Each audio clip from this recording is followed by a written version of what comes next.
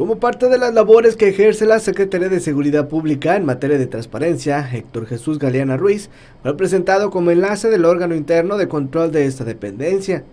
En una breve reunión presidida por el secretario de Seguridad Pública, el comisario Antonio Bernal Bustamante, el director de la Auditoría de la Superior Central de la Secretaría de Contraloría, Mario Amilcar García Soto,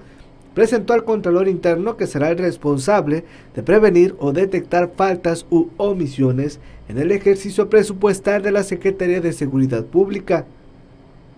Luego de la instalación de las Contralorías Internas por parte del gobernador de Michoacán, Silvano Aureoles Conejo, instauradas el pasado 14 de marzo, las cuales tienen como finalidad vigilar la perfecta aplicación de los recursos de cada una de las dependencias de gobierno, la Secretaría de Seguridad Pública determinó que la figura encabezada por Galeana Ruiz sea garante en el correcto uso de los recursos asignados a la institución.